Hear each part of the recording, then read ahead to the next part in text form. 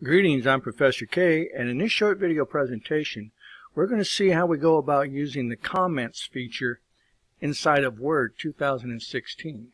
For this demonstration, I'll be using a paper that I wrote earlier for a previous course that I developed, and we're going to see how we go about adding comment to this document. So to begin, let's go up to Insert, and from here we can go on over and we can click where it says comment. But before we do that, we have to have a target for the comment. So let's go ahead and just highlight the title here. And we're going to click on comment.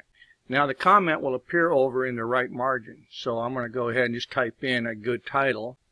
And now you can just move on to the next comment. So now you can scroll through your document. When you get to a point to where you want to add another comment, just highlight whatever it is you want to comment and then you can click on the comment. So let's find something else in here that we can help identify as needing either a comment or some type of correction. So I found something that we need to take out, the word the. So again, I'll just go ahead and make a comment and remove.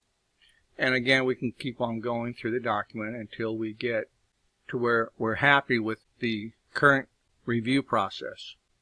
We'll do one more here. I'm going to highlight the word other, comment that, change to additional.